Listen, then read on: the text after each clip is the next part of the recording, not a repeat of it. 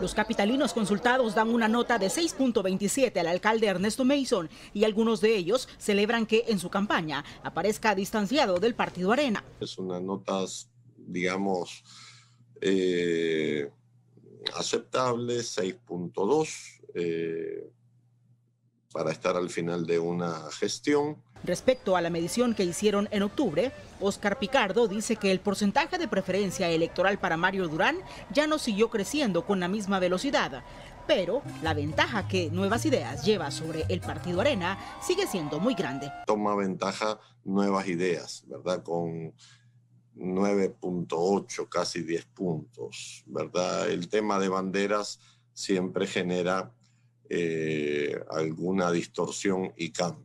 Respecto a esa medición de octubre, en este sondeo también incrementaron los votos nulos del 9.4 al 13% y las abstenciones subieron del 1 al 5%. Esperamos que esta herramienta sirva para pensar, para reflexionar, para tomar mejor, mejores decisiones y que eh, los capitalinos participen democráticamente, eh, que hagan su campaña de una forma civilizada. Otra de las novedades es que en la intención de voto, el FMLN siguió cayendo del 7 al 2%.